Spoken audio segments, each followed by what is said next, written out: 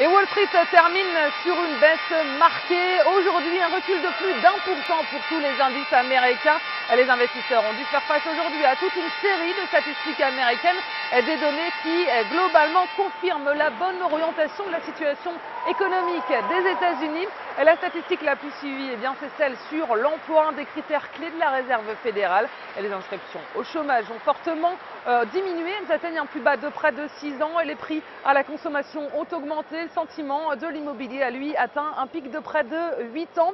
Les secteurs clés d'économie américaine, on le voit, se portent bien et toutes ces données alimentent les spéculations euh, sur les intentions de la Fed. Alors pour la plupart des opérateurs, eh bien, la réserve fédérale américaine devrait réduire son plan de soutien à l'économie américaine dès le mois de septembre prochain. Et la question, ce serait maintenant de savoir euh, quel sera ce nouveau montant euh, d'aide donc à l'économie des États-Unis. Difficile donc de prévoir la réaction de la Fed. Bref, encore des incertitudes qui freinent les investisseurs et incitent une nouvelle fois à la prudence.